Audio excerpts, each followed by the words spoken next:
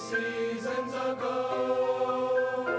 When the children would reach for their stockings and open the presents they found. The lights of the trees would shine bright.